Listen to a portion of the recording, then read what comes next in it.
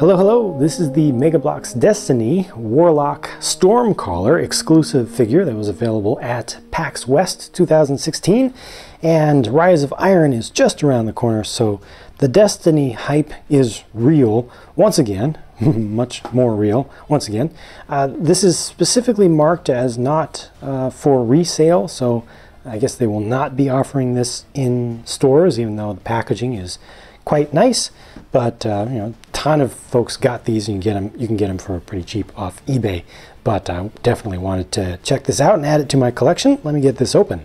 So here's the stuff that came out of the package before I get everything open. Just wanted to make sure you could see that clearly. A bag of small accessories here and the instruction sheet.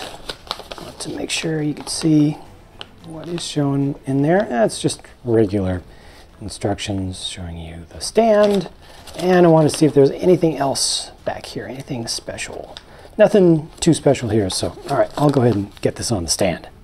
So the stand really lets you get some dynamic action poses as expected, but I do feel like they went just a little bit cheap with the parts to connect the ghost because your Guardian does have to be angled off to one side uh, in order to leave room for the ghost to kind of peek around one shoulder because the ghost only attaches with just one single clip piece, which is very short. Uh, I wish there was an additional piece to allow you to kind of move that off to the side, to not be in line with the connection point on the, the back of the, the Guardian that's used to attach it. But uh, the figure looks quite good. Uh, it's got the uh, Samsara style of, of helmet on there, which is the mold they already had.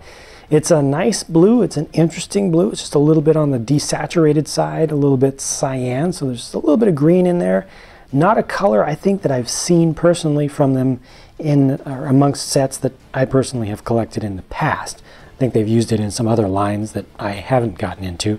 Nice auto rifle there, which is made in the, the same color. There's also just a little bit of, of paint, of white paint that's dry brushed onto this. It's, it's really, really dry and, and uh, most of it was brushed off, but you can see some of it up here around the, the, the strap. And it just adds just a little bit of, of that electrical kind of feel to it is what they're trying to go for. So it's not looking, it's not trying to look like it's in active camo or something, you know, it's not trying to look partially invisible. It's, it's supposed to look energized with, you know, the actual Stormtrance in effect. Speaking of which, uh, with Stormtrance going, you probably don't want to see a weapon in the hand. So let me just change things around a little bit using the, the parts that are included here. Power! Unlimited power! Yeah, this is more of the pose that I want to see, but I did have to get a little bit tricky. See, I, I put the weapon on the back, and then the Guardian is actually just kind of hanging there. I used the, the small clip that was used for the Ghost, and uh, just used the, the stock of the, the weapon as a, as a hanger. So he's just kind of hanging there, but it does work. It is doable with just the parts included here, but now you have no place to put the ghost, but that's fine. Uh, I'm, I'm definitely happy to get the extra accessories, you know, rather than just getting them in this form to actually get a weapon to go with it and to get a ghost, even though it's just a basic shell. It, it's nicer that way.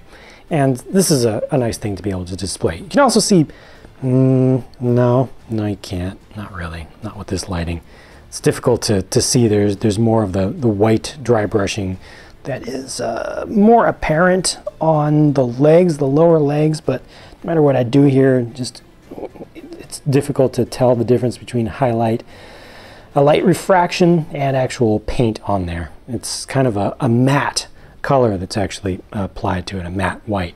But this is a nice figure. Very collectible, good one to get, good one to display. I'm happy with it. I'm happy to have the stand. I do wish that, like I said, there was just one additional piece included to let you better pose the the ghost in different ways. But as it is, I really, really can't complain. I'm happy with this thing. If you have anything that you'd like to say about it, of course, as always, leave comments down below and I'll talk to you again soon. Thanks for watching.